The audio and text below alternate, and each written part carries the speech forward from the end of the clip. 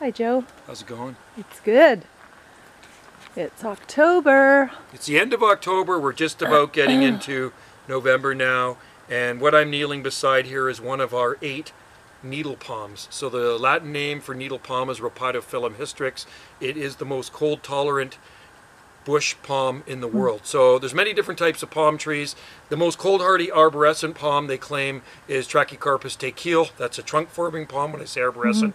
Um, I sometimes beg to differ. I think Trachycarpus fortunei may be even hardier.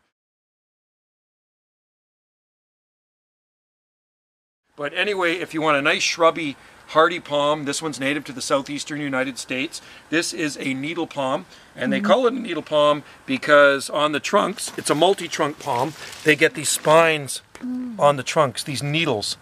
Um, I don't know if you can see them from here. Can you see the needles on there? Yeah, they're right still there. You see that? Oh, yeah, I see one. Yeah, you see the They're needle right young, there? Though. Yeah, these are Yeah, young. very But anyway, this one's got multi trunks on it. Mm-hmm. And our other ones, the oldest one we have in the garden now, we planted, I planted about 18 years ago. And at this latitude, they're growing very slow, Mm-hmm. but fully cold hardy. And if you live in a colder zone, you may want to try a needle palm. I call them the king of the frost beaters.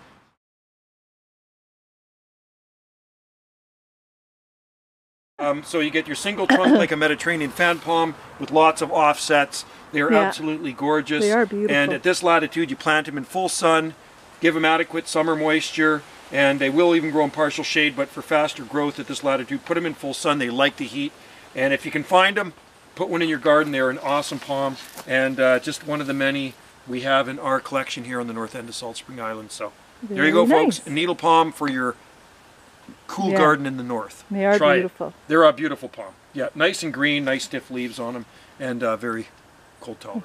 Thanks. Thanks for watching.